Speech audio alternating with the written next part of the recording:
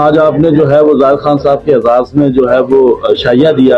और overseas Pakistan party के मसाइल भी आपने जो है वो उनके सामने रखे। तो किस तरह से देखते हैं कि कल को वो अगर मुंतखब होते हैं तो Pakistan overseas Pakistan peoples party के लिए बेहतर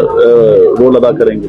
आ, सबसे पहले मैं मीडिया के दोस्तों का इंतहाई शुक्र गुजार हूँ कि वो शॉर्ट नोटिस पे पाकिस्तान पीपल्स पार्टी खैबर पख्तूनख्वा की जियालू की तरफ़ से जो हमारे मेहमान आए थे जायद खान उनके एजाज में शाइया का अहतमाम किया गया था। तो उस प्रोग्राम में आप लोगों ने शिरकत की, हमारे लिए बाईस फख्र भी और हम आपके बहुत ज़्यादा शुक्रगुजार हैं।